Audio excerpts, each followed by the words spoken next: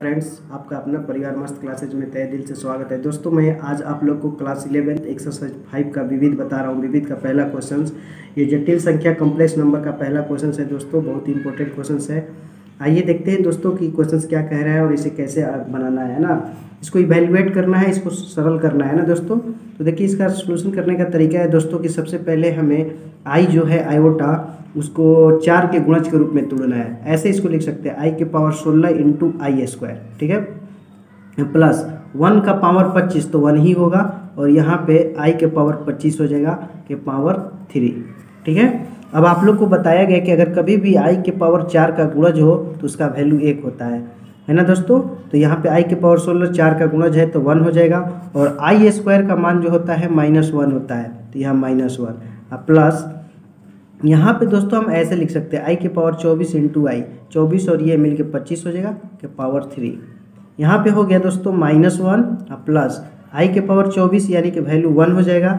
आई के पावर चौबीस का मान वन और आई में गुना हो तो आई। अब यहाँ हर पर में करण कर देंगे आई आई से, है ना? तो यहाँ पावर थ्री फिर आगे दोस्तों हो गया माइनस वन प्लस आई बटा में आई आई मिल के आई स्क्वायर हो गया के पावर थ्री आई स्क्वायर का वैल्यू माइनस वन होता है और यहाँ प्लस है तो प्लस माइनस माइनस हो जाएगा। तो यहाँ पे हो गया माइनस वन और माइनस आई के पावर थ्री है ना? इस आई स्क्वायर का वैल्यू माइनस आया, जिसके चलते माइनस प्लस माइनस हो गया, है ना दोस्तों?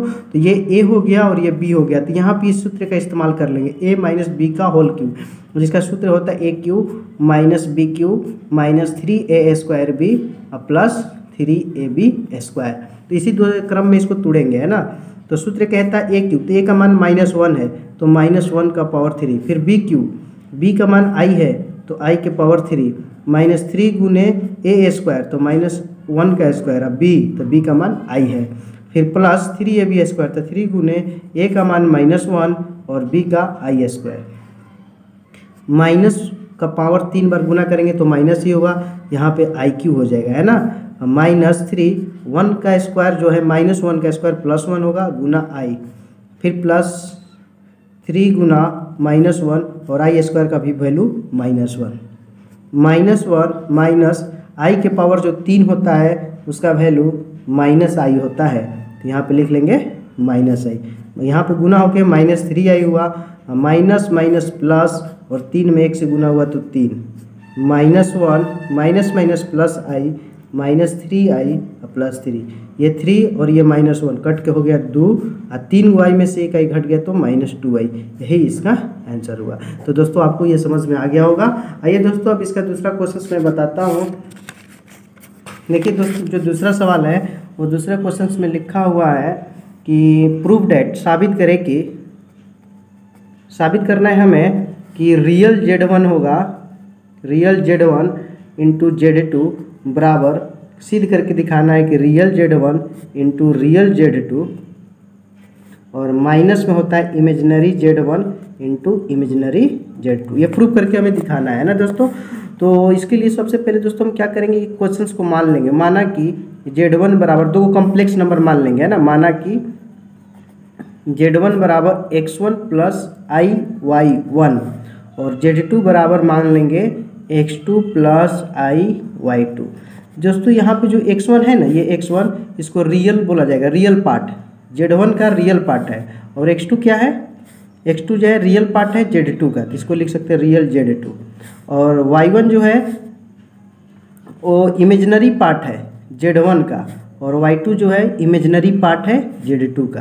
तो ऐसे ये समझने के लिए मैंने आपको लिख दिया इमेजनरी जेड टू अब देखिए, सिद्ध करने में लिखा है real Z one into Z two यानी गुना करना है Z one Z two now अब हम क्या करेंगे कि Z one into Z two को गुना करेंगे। Z one into Z two यानी कि गुना। तो X one plus I Y one into X two plus I Y two तो Z one into Z two अब यहाँ देखिए एक्स वन जो है, इस दोनों से गुना करेगा। एक्स वन में एक्स टू से गुना होगा तो X one X two X one में इससे गुना होगा तो I X one Y two अब इसका जब गुना होगा तो plus I X two Y one अब प्लस प्लस प्लस आई में आई से गुना होगा तो I square Y one Y two Z one Z two बराबर एक्स वन एक्स टू अब इन दोनों में आई आई कॉमन है। आई को कॉमन ले लिया। तो यहाँ बचा X one Y two plus X two Y one I square का वैल्यू माइनस होता है तो माइनस वन होता है तो माइनस लिख लिया वाई वन वाई टू यानी कि जेड वन जेड टू बराबर दोस्तों आ गया X one X two minus Y one Y two अब प्लस इस कोस्ट वाला को I X one Y two plus X two Y one तो दोस्तों आप सिद्ध करने में जो है यहाँ पे देखिए नज़र आ रहा हो कि real Z one Z two लेना है। Real Z one Z two तो जेड वन जेड टू हम गुना कर लिए। अब हम क्या करते हैं कि इसमें से रियल भाग को लेते हैं। Real Z one Z two real part को लिया तो इधर से भी ये देखिए, ये वाला जो पूरा पार्ट है आई लगा है तो ये इमेजनरी पार्ट है। तो इधर से ले लेंगे X one X two minus Y one Y two अर्थात हम दोस्तों लिख सकते हैं, इसके बारे में बता सकते हैं कि real Z one into Z two का जब मल्टीपल हुआ तो एक्स वन एक्स टू मिला। तो एक्स वन एक्स टू क्या है? तो देखिए यहाँ पे आपको हम शुरू में ही बताए थे कि एक्स वन जो है रियल जेड वन है एक्स टू जो है रियल जेड टू है। तो इसलिए हम एक्स वन को क्या लिख सकते हैं? रियल जेड वन और एक्स टू को रियल जेड टू फिर माइनस का चिन्ह है तो माइनस अब वाई वन वाई टू तो देखिए दोस्तों मैंने यहाँ पे वाई वन वाई टू के बारे में बताया कि वाई वन जो है इमेजनरी जेड वन है और वाई टू जो है इमेजनरी जेड टू है। तो यानी कि हम वाई वन को लिख सकते हैं imaginary Z one I into Y two को लिख सकते हैं इमेजनरी जेड टू। अब हमारा जो क्वेश्चन था, उसमें थोड़ा गौर से देखिए कि लिखा था कि real Z one Z two बराबर real Z one into real Z two minus imaginary Z one into imaginary Z two.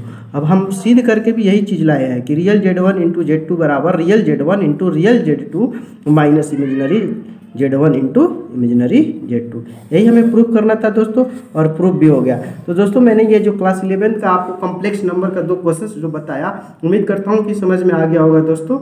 है ना दोस्तों? अगर आपको अच्छा लगा तो लाइक कीजिए सब्सक्राइब कीजिए और अपने ज़्यादा से ज़्यादा दोस्तों में शेयर कीजिए।